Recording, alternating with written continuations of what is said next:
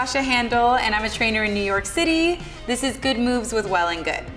Today we'll be going through a chest and back workout utilizing a long resistance band and we'll be utilizing a push and pull movement pattern so that you're alternating both your back and your chest as we go through this sequence.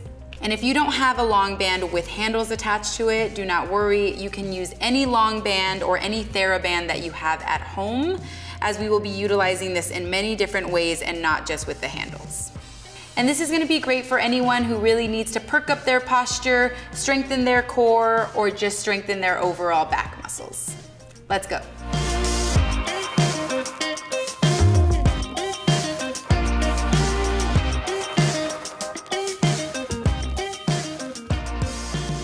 So let's start with the setup of your first move. It'll be a standing narrow row and you'll need to place the band directly underneath both feet, preferably towards the heel so that you can keep it in place without having to wiggle your feet around too much. And I like to start with my feet about hips distance apart, bend my knees slightly, push my hips back, and then cross the bands over one another for a little bit of added resistance. For this specific move, I'm gonna actually choke up on the band itself rather than the handles. That way I can get lots of tension once I pull those elbows back into my row position. We're here for 45 seconds. Let's go. So again, I'm pulling my belly in as I'm also pulling my elbows back. And the idea here is to squeeze your elbows so tight that they can almost touch each other behind your spine but also remembering to keep your shoulder blades pulled back and down and driving those elbows almost towards the back of your hip sockets. Now, as I pull tension on this band, the move is gonna get harder towards the end than at the finish. We've got about six more seconds here. Big pull, controlled release. We've got time for one more, and you can shake it out.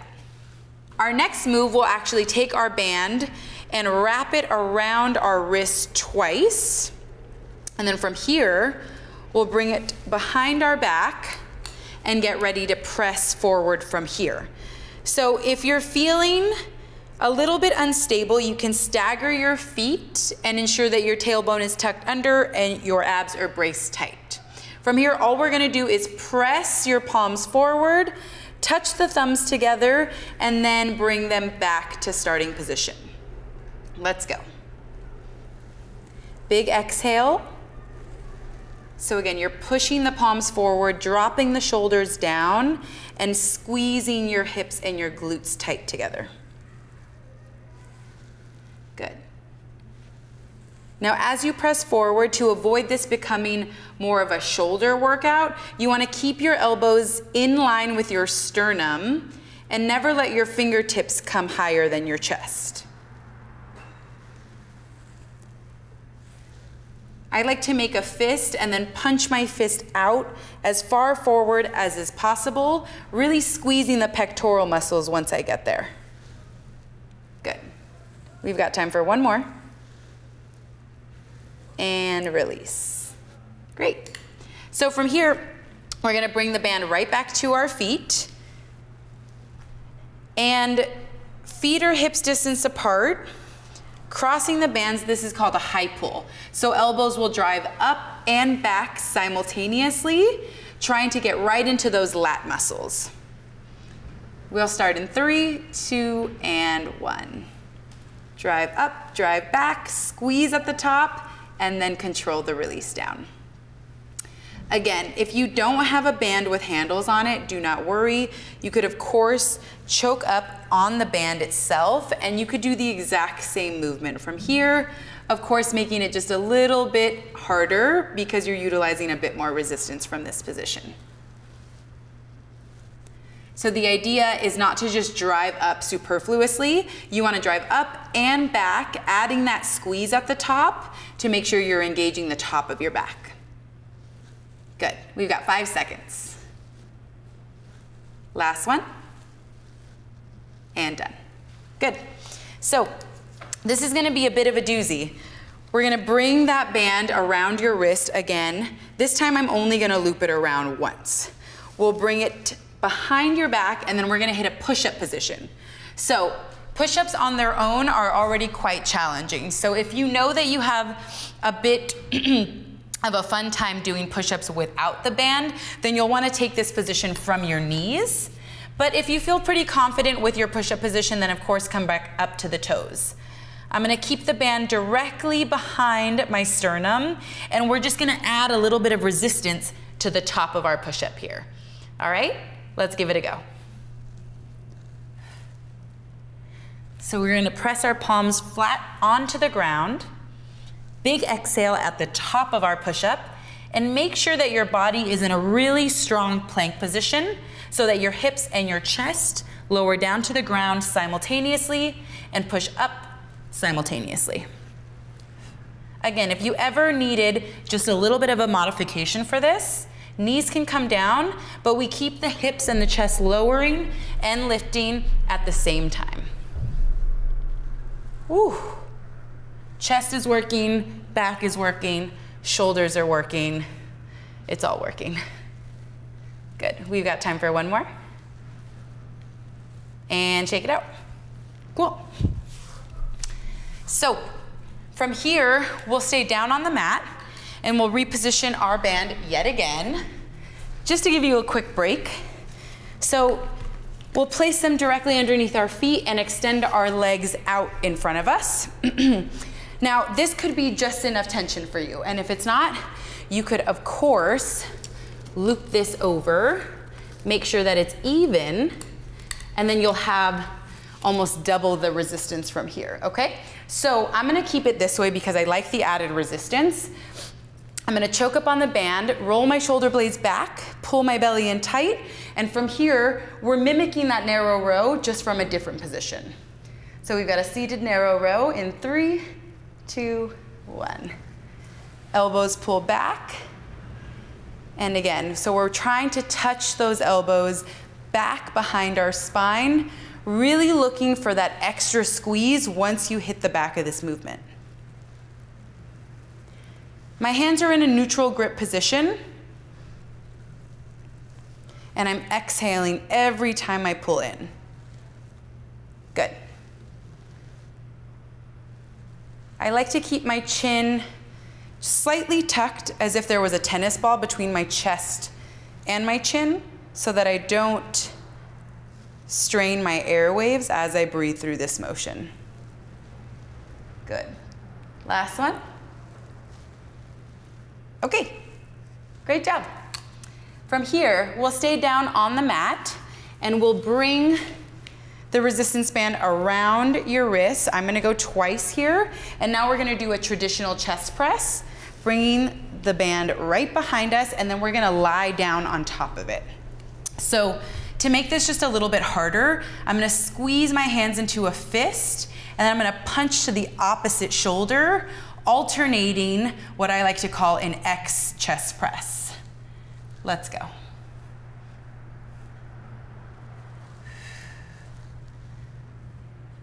So I pass the middle of my belly and then I reach over to the up, I reach over to the opposite hip.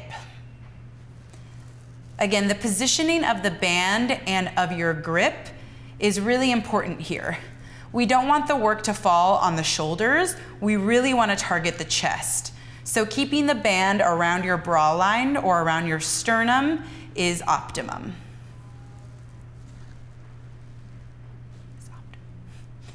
Good. All right, we've got just a couple more seconds here. Let's get one more in. Woo. All right.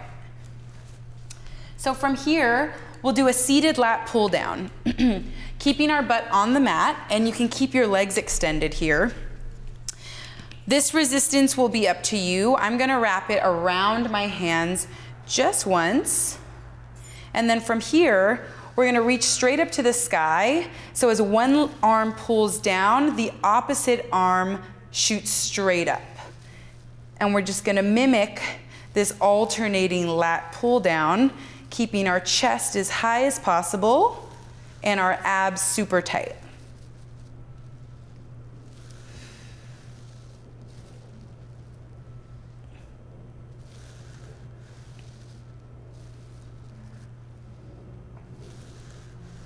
Good.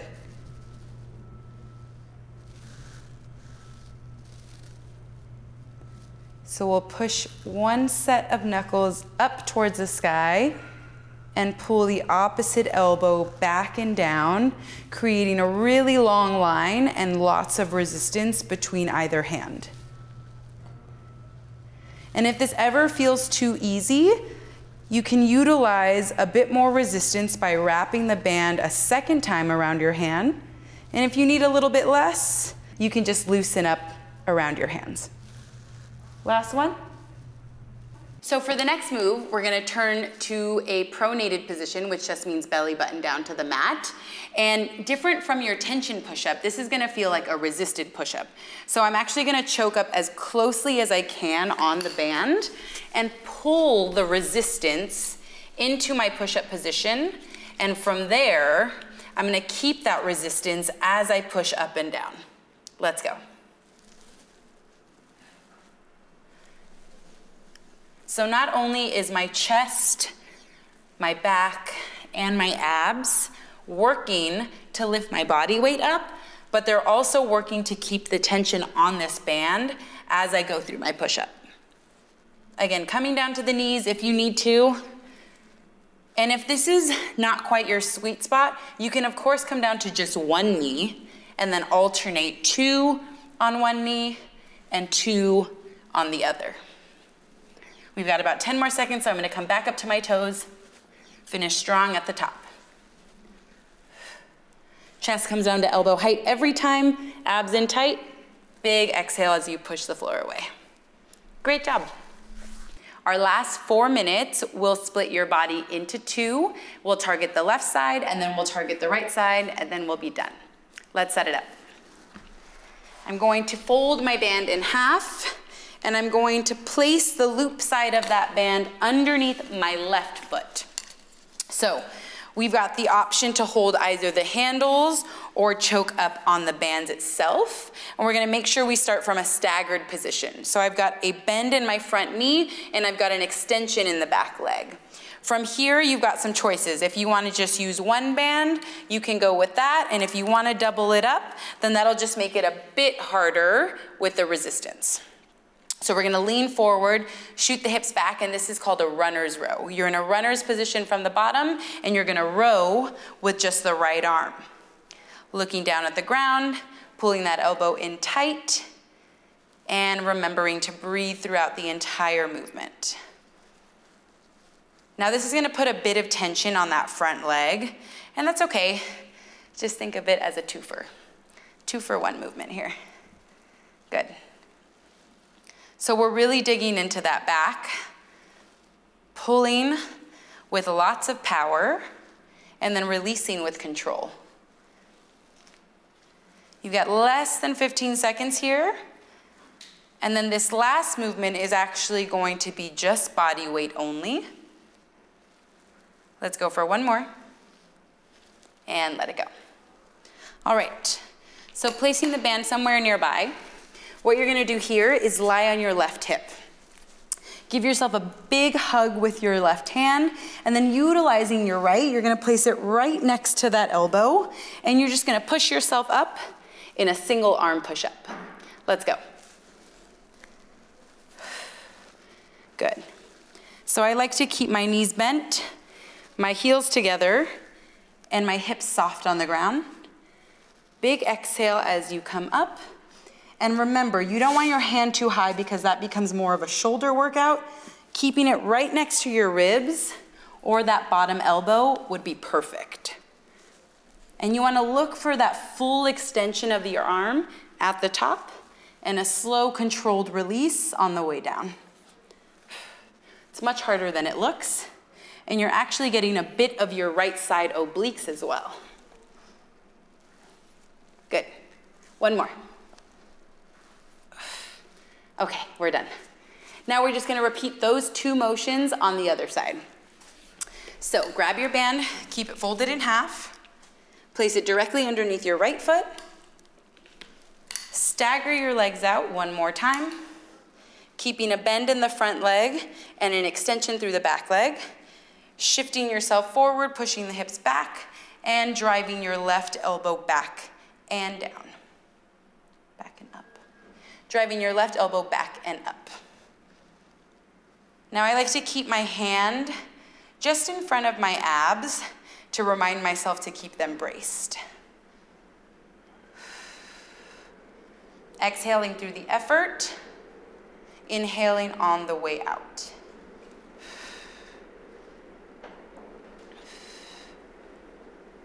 Gorgeous. Now that right cheek and right leg might be starting to give off some heat. That's okay because we've only got about five seconds left. Good. Why don't we go for one more? And done. Great job. We can put the band somewhere off to the side. Lie down on your right hip. Give yourself a big hug with your right hand. Bend both knees. Left hand comes right next to your ribs. And let's start that single-sided push-up on your left side.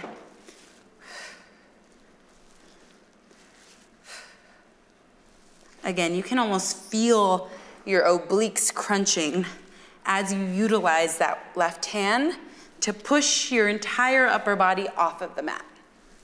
Whew. I know this is a tough move, which is why we finished with it. we'll be here for just another 20 seconds, okay? Stay strong. Ooh, last 10. You'll always know which side is stronger than the other. It's definitely not my left. Last one. And you're done.